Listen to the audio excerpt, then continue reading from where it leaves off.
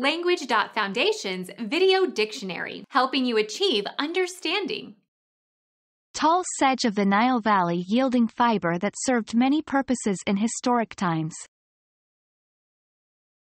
Cyperus papyrus, Egyptian paper reed, Egyptian paper rush, paper plant, paper rush.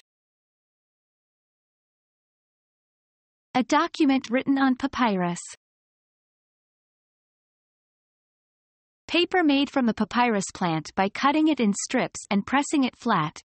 Used by ancient Egyptians and Greeks and Romans. Become our student and get access to effective and free educational materials. Subscribe to our channel to become a part of our growing community and to learn English effectively.